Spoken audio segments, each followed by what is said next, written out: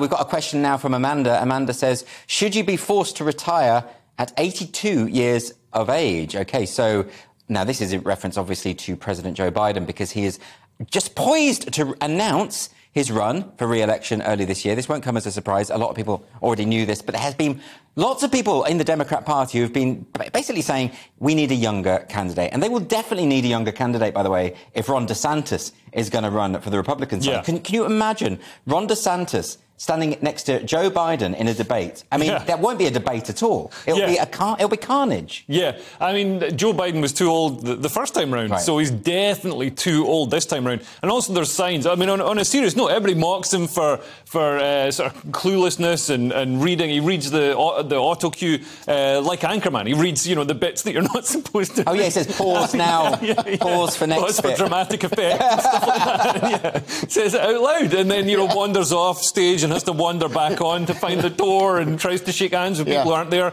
References people who've been dead for 17 years. Uh, and, know. yeah, I mean, it's, uh, but it's, it's sad. Uh, I mean, we, we laugh about it, but this is a serious issue. This guy's like, you know, ostensibly uh, reading the auto cue of the person who runs the largest military uh, in, in the world. This is it. I mean, with it, if it was anyone else, I wouldn't want to mock. I wouldn't want to draw attention to it because I would feel bad for someone who's suffering in this Yeah, way. I think but he's the president. If he's going to be a greeter at Walmart, Fine. it's fine. Be Right. 82. But you know, as, as the president, I think. Uh, Absolutely. I'm not ageist in the least, but if you're the president and you're not acknowledging that you've got cognitive decline, Yeah. then people should acknowledge it for you, right? No, because you're asking the wrong question. Okay. You're looking at him and saying, can he do the job? And can he do the job? Yes, he can. He could do the job because he is his job that he's been chosen to do is to do exactly what he's been told to Right, but that's the problem with your system. I hate to say, uh, you know, you're Yeah. not the representative of America. I will be because it's the greatest system in the world. Is it the greatest system in the world? Because I you basically that have it is. a puppet president who, who is just basically shunted around by other people, and it's not the first president that has had that. He, he- no, he isn't the puppet president. Well, you want to name names like uh, what's his name, Wilson,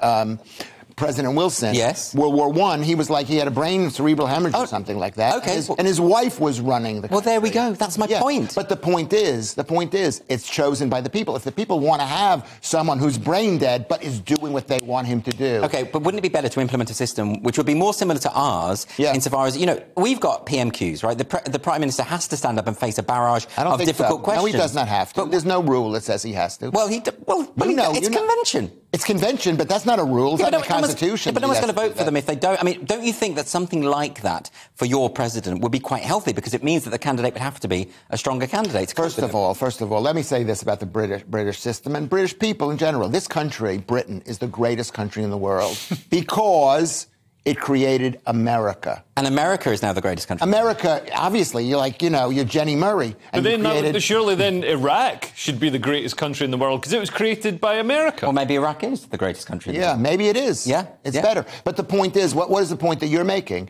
Is is the system in America? They've they've figured it out, and they figured it out by British people who lived for hundreds of years under the British system, and they said, let's do something else. It was I just don't understand. Can I just ask you Yeah. about Trump, though? I mean, Yeah. like, so Trump is as old as Joe Biden. yeah, and he, he's saying he's going to run as well. And he's saying he's going to run as well. And Trump is also unhinged, but in a different way. Yeah. Uh, wouldn't it be better for everyone if we just had, I'm not, again, not being ageist, but just candidates who are at least below seven, uh, 70? I don't think there needs to be a hard and fast cut-off point because we don't know. What, you know, in ten years' time, the way technology is going, Right. maybe people over the age of eighty will uh, have some some use to society. What do you think, DeSantis or Trump next time? um, You're normally good at predicting these things. I know I'm not. I'm not good. I don't. I didn't see Trump coming at all. Really? I, yeah, I would say this. Who who do I personally want to win?